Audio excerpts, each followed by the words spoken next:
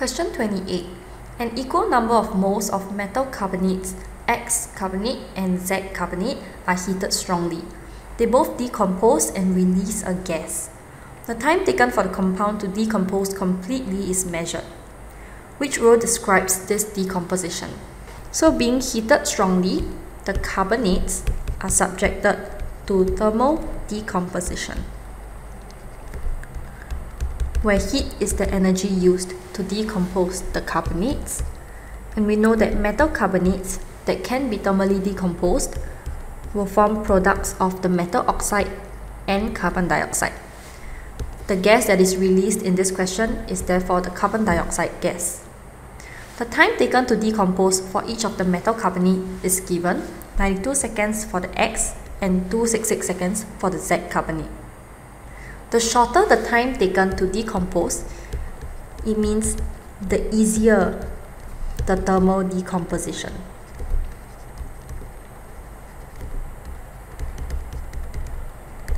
And we know that the more reactive the metal, the more likely it is to stay in the compound or the ionic form, and the harder it is to thermally decompose that compound.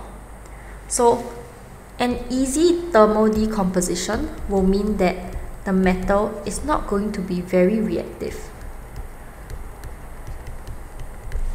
An unreactive metal such as aluminium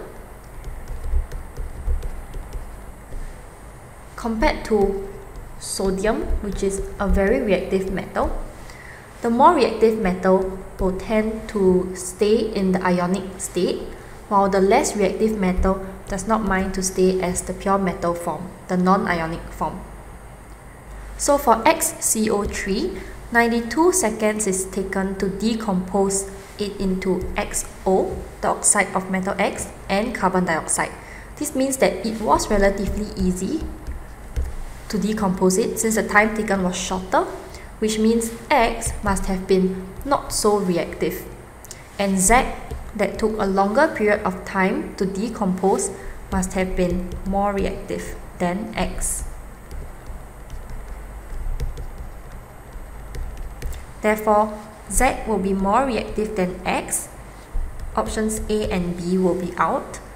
And the positive test for the gas that is produced, which is carbon dioxide gas, is going to be the test of bubbling carbon dioxide gas into lime water which should give a white precipitate for the positive results.